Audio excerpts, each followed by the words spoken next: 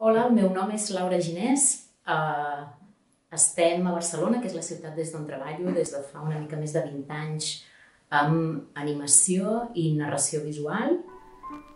Vaig uh, iniciar-me la imatge en moviment a través de la il·lustració o a partir d'uns estudis d'il·lustració, però venia d'estudiar arquitectura, per tant, la meva formació ha estat així una mica eclèctica.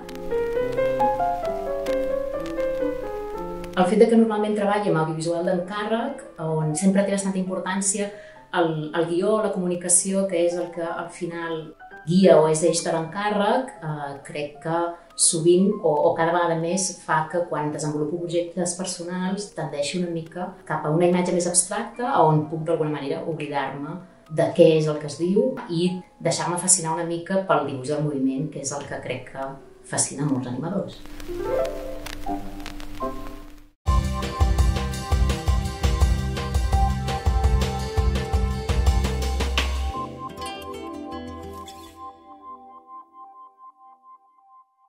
Alguns dels projectes que a vegades impulso a nivell personal tenen a veure amb posar-se a animar sense, sense cap idea preestablerta, sovint amb una mena com d'estratègia prèvia, no? de quin material utilitzaré i posar-se directament a dibuixar moviment. Una mica, jo li dic com entrenar el múscul de l'animació.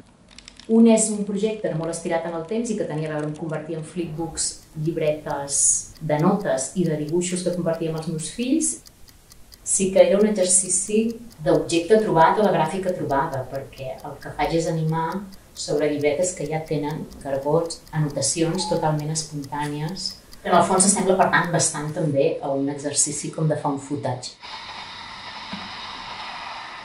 Un entén molt bé en il·lustració que el valor està en la relació que hi ha entre la imatge i un text donat i això crec que en cinema, encara que sigui en cinema abstracte, també podem generar animació oblidant una mica de, uh, del que la lletra significa, és a dir, utilitzant la lletra o el text com a, com a dibuix en si mateix.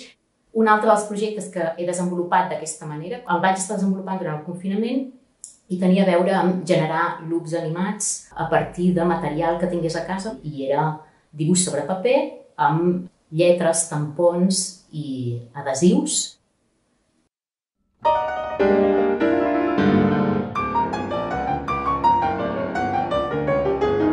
Amb una fulla de letra C tu no tens totes les A's possibles, totes les A's que, que vulguis tenir, sinó que en tens un nom delimitat i per tant has d'estar tot el temps pensant que allò és finit. La manera de transferir-ho al paper és molt proper al dibuix, però no és un tras dibuixat. O sigui, es pot assemblar bastant a una tipografia impresa, però a la vegada també té la possibilitat de que si jugues amb el fer-ho molt bé eh, pots tenir lletres molt trencades i això va molt bé per utilitzar parts de lletres com si fossin signes. Aquest és molt clar, no? de dir, hi haurà una, una determinada forma, els gomets partits per la meitat eh, estaran col·locats d'una manera molt fixa i només giraran. Llavors aquí sí que tots els elements aniran de dins a fora i intentaré veure si amb les lletres que tinc puc fer com un de petit a gran i que el loop sigui això, alguna cosa que es va com apropant a tu.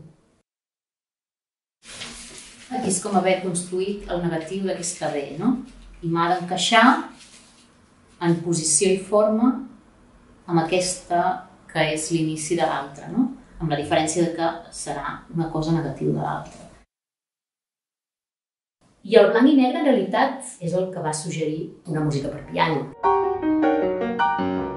Vaig anar directament a buscar, a mirar quin dels estudis per piano de Miquel Roger podia anar bé per afegir la pel·lícula.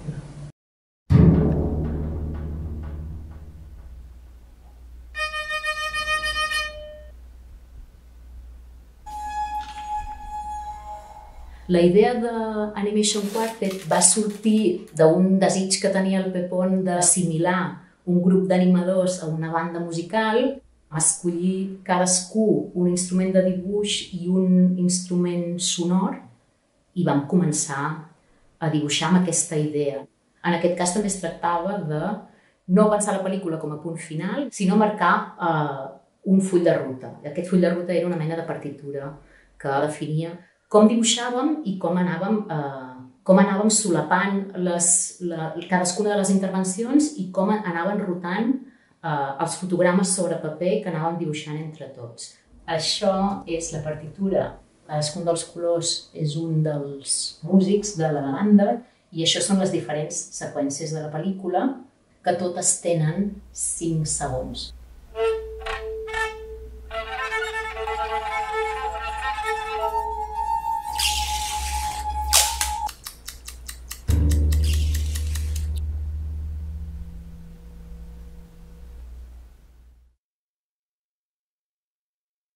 Home in Progress Film, amb el Pepon i el Rafa, el que hem fet durant els últims anys també ha estat com un superaprenentatge de la mà del CCCB sobre com havia de ser el disseny de producció d'un casal o d'uns tallers que es desenvolupaven durant molts dies que donés com a objecte final algo semblant a una pel·lícula.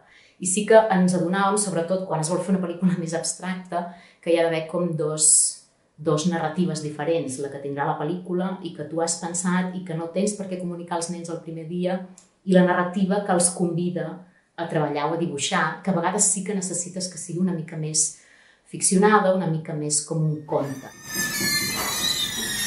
Per exemple, recordo quan vam fer la sinfonia animada, la narrativa que tenia a veure amb el dibuix i amb la sonorització que vam fer conjuntament amb ells era la, era la d'una tempesta.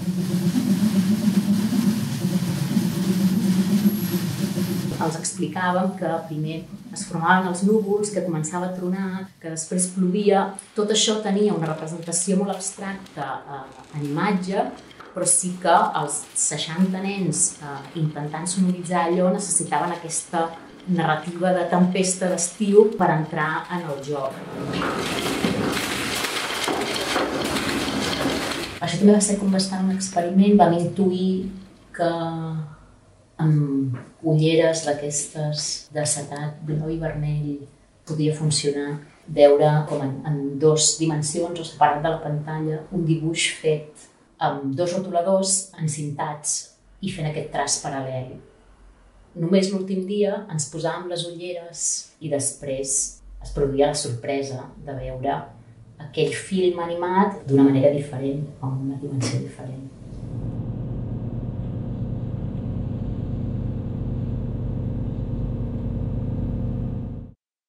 Crec que quan, quan s'anima sense, sense, sense figuració, sense intentar representar res, eh, estàs més a prop més a prop de la música, més a prop del ritme i, i en el fons eh, em passa això, que pots oblidar-te, pots eh, desactivar aquella part del teu cap que està normalment eh, pendent de si la història s'entén, de què és el que es comunica, de què és el que les imatges aboquen.